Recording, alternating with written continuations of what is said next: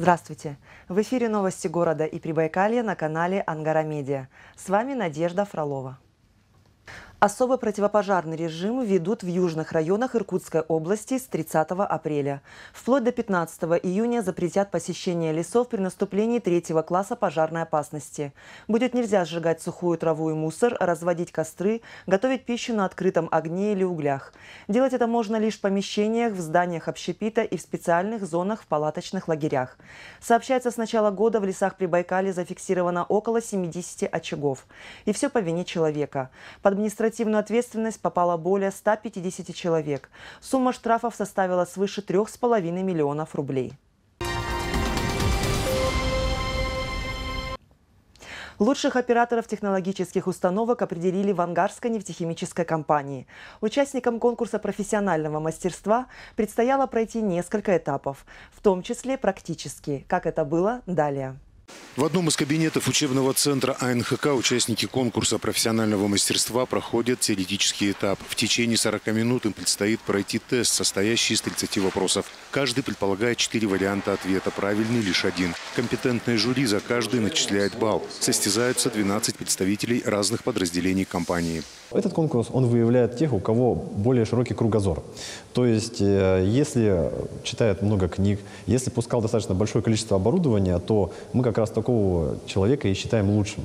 То есть, если у него кругозор, он умеет пустить печку, он умеет пустить насос, то мы считаем, что такие люди должны быть в почете. А это уже современный промышленный полигон с мини-установками, где отрабатывают производственные ситуации. Аппаратчик производства нефтехимии Роман Егоров выполняет поставленную задачу – пуск насоса. Молодой человек работает в АНХК чуть более полутора лет, но уже довольно спокойно сдает этот экзамен. Говорит, к конкурсу готовился основательно.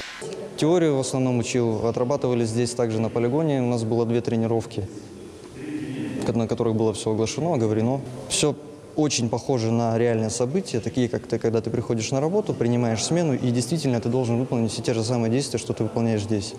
По словам организаторов, уровень подготовки конкурсантов ежегодно растет. Ведь победа считается одним из главных профессиональных достижений работника. Мотивация есть. Призеров награждают почетными грамотами и ценными подарками. Кроме того, победителям устанавливают доплату. Плюс ко всему появляются большие перспективы для карьерного роста. В этом году в тройку лучших вошли два представителя нефтеперерабатывающего производства. Второе место занял работник производства масел. Победитель отправится на финальный этап смотра конкурса, где будет представлять АНХК среди лучших операторов директоров всех дочерних предприятий Роснефти. Альберт Домнин, новости 360 Ангарск. Более миллиона рублей задолженности по алиментам выплатил ангарчанин после того, как его участок земли арестовали судебные приставы.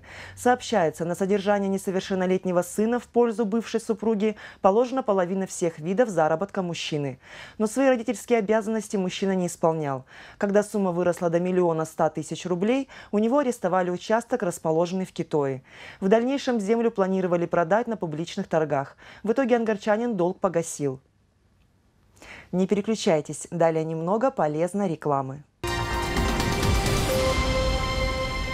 МРТ-диагностика с современными и точными аппаратами в центре МРТ-лидер. Специалисты МРТ-лидер проводят высокотехнологичные исследования, ведь вовремя поставленный диагноз – залог успешного лечения. Диагностика без очередей в удобное для посетителя время. Диагностический центр МРТ-лидер, 277 квартал, дом 22. 29 апреля 18.30 школа номер 37 имени Героя Российской Федерации Аркадия Королькова приглашает выпускников девятых классов и их родителей на презентацию профильных МВД-класса и класса Росгвардии. Справки по телефону 58 16 18. 58 16 18. Не хватает скорости? С тарифом Турбо скорости хватит на все. До 200 мегабит в секунду. Смотри, скачивай и играй одновременно. Успей подключить по акционной цене всего за 450 рублей в месяц. Это Телеком. Предложение ограничено. Вопросы техносферной безопасности обсудили на Всероссийской научно-практической конференции, которая состоялась в Иркутске. В ней приняли участие студенты, аспиранты, общественники, в том числе из Ангарска. О чем говорили собравшиеся в следующем материале.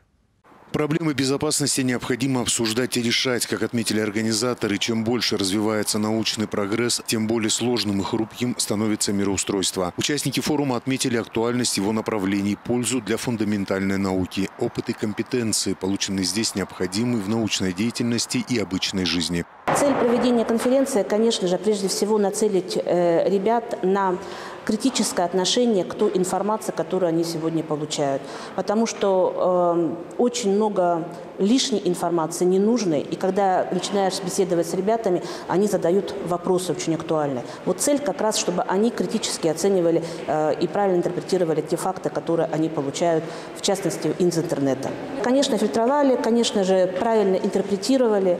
Ну, а с февраля месяца все получило новую совершенно актуальность, поэтому тема э, конференции оказалась очень актуальной. Гостем форума стала заместитель председателя общественного совета при Ангарском управлении МВД Ангелина Попова, которая возглавляет региональную организацию в защиту права и активно работала над созданием Центра кибербезопасности. Требованием времени в декабре 2022 года а, этот центр был организован. Международный центр по борьбе с киберпреступностью. А, усилиями общественности, в том числе моей личной Иркутской области, нам удалось открыть представительство в городе Иркутске, которое сейчас запускает свою деятельность. И при поддержке Главного управления МВД по Иркутской области будет реализовываться ряд мероприятий. А, в том числе рада сообщить, что будем приглашать активных студентов, тех, кто обучается юриспруденции, для помощи, для формирования студенческих отрядов кибербезопасности безопасности а, и борьбы а, с киберпреступностью на благо нашего народа и а, нашего государства. Всего форум объединил свыше 200 докладчиков из России и Узбекистана. Обсуждали вопросы цифровизации образования в техносферной безопасности, охраны труда, экологии и здоровья. Впервые коснулись темы устойчивости к антибиотикам, используемым в медицине и сельском хозяйстве. Можно отметить доклады тех ребят, которые уже озабочены и озадачены решением проблем, связанных с ранним суицидом, который встречается уже и на территории нашей области, и в целом нашего государства. Это вопросы безопасности, информационной безопасности детей. Это вопросы, связанные с информационной безопасностью государства, как отдельного вида национальной безопасности нашей страны. А, ну и, наверное, необходимо отметить доклады тех ребят, которые предлагают уже пути решения проблемы. Они даже выходят через различные федеральные конкурсы со своей инициативой. Эта инициатива направляется посредством участия как раз в научных мероприятиях студенческих в органы государственной власти для принятия резолюций по тем или иным направлениям. Альберт Домнин, Алексей Резник, Новости 360 Ангарск. Три с половиной года лишения свободы условно со штрафом в 100 тысяч рублей. Такой вердикт вынес суд в отношении 19-летнего ангарчанина за незаконное изготовление и хранение огнестрельного оружия. Действия молодого человека пресечены сотрудниками областного управления ФСБ. У парня изъяли три ствола, переделанные из сигнальных пистолетов, патроны и порох. Посещение парной, можно сказать, древний обычай. Ведь это особое место, где можно не только расслабиться и отдохнуть, но и укрепить свое здоровье. Русская баня на дровах «Охотничий домик» построена с соблюдением всех технологий и традиций русских бань. Веники – один из обязательных аксессуаров. Охотничий домик предлагает на выбор пихтовые, дубовые и березовые. Каждый из них оказывает определенный эффект на организм человека. Одни благоприятно влияют на кожу и суставы, другие помогают избавиться от болезней дыхательных путей. Их персонал подбирает лично для каждого гостя с учетом особенностей его здоровья. Подстраиваемся под каждого клиента, подстраиваемся прям. А в бассейне у нас каждый день свежая и чистая вода. А, стараемся. У меня приезжают с младенцами, буквально, вот я говорю, с малышами, которые вот только-только купились. Температуру в бассейне также регулируют под пожелание каждого посетителя. Сделать воду теплой можно заранее, обговорив это с администратором. Мы, конечно же, обсуждаем, какая температура должна быть в бассейне. Э, баню им тоже пожарче или кому-то послабее. Кто-то не, не любит сильно жаркую баню. Основное правило бани – проведение времени с пользой для здоровья. Поэтому охотничий домик обеспечил парилку мягким климатом с температурой 60 градусов. Для укрепления иммунитета банный комплекс «Майский» предлагает не изменять традициям – закалять дух контрастными процедурами. После жаркой парилки можно облиться ледяной водой, а после угоститься свежеприготовленными позами из натурального мяса. Мы уже не первый раз в этой бане. Очень любим отдыхать здесь с семьями, друзьями. Вот сегодня, правда, вдвоем с сестрой с детьми, так как мужья работают. Нам очень здесь нравится. Можно где-то погреться после бани, ой, после парилки искупаться в бассейне вместе с ребятишками. Мы, ой, здесь очень чисто. Для детей подогреет бассейн, водичка, чтобы дети не замерзли по комфортности. Все как попросишь, так все и сделают. В зоне отдыха расположены соляные блоки, где за чашечкой фиточая можно укрепить иммунитет. Дыхание таким испарением помогает снять стресс, нормализует сон и даже помогает похудеть. Вмонтированные в стену печи кристаллы растворяются медленно, поэтому посетителям с аллергией можно не бояться. Такая практика принесет организму только пользу.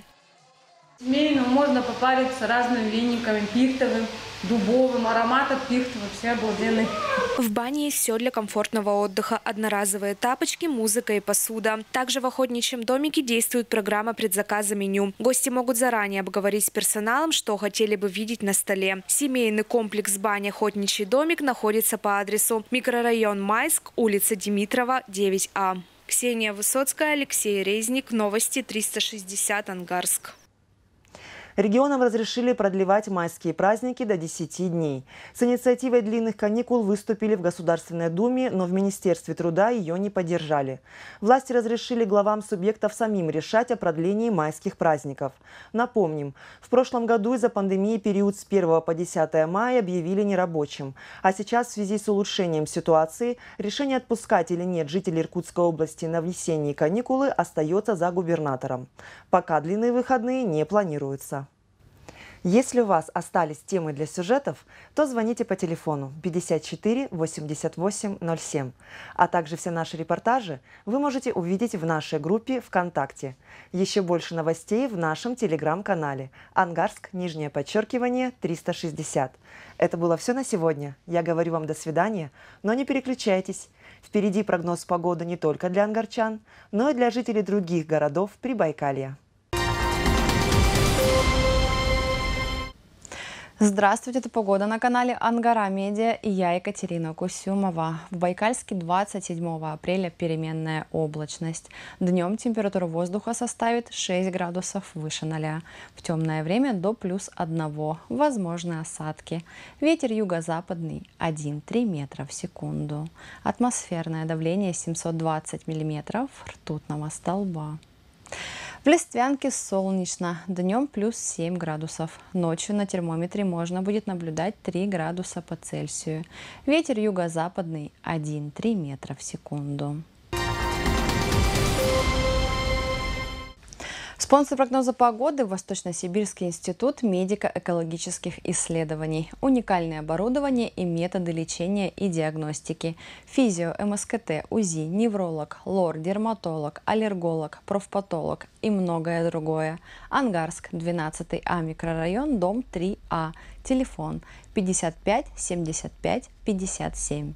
Клиника ВСИМАИ. Врачи высшей категории, кандидаты и доктора наук, собственная лаборатория, уникальное оборудование и методы лечения, комплексная диагностика УЗИ и ЭКГ. К вашим услугам программы здоровья, курсы массажа, ЛФК и инновационные физиопроцедуры. Клиника ВСИМАИ. Ангарск, 12 А микрорайон, дом 3А.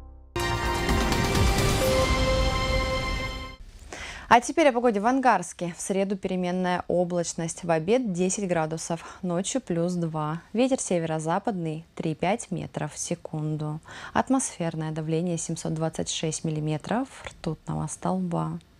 И на этом у меня все. Смотрите метеопрогноз на канале Ангара Медиа. А я желаю вам отличного настроения в любую погоду.